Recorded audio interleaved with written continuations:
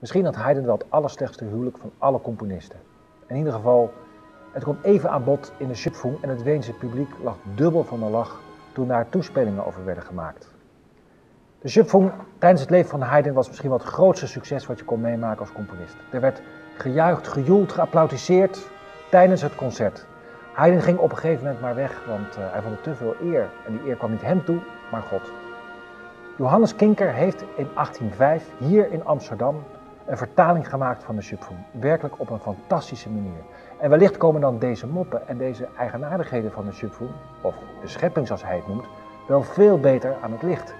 We nodigen u daarom graag uit met het Orkest van het Oosten om mee te genieten van uh, misschien wel een van de mooiste stukken uit de muziekgeschiedenis en dit keer in het Nederlands.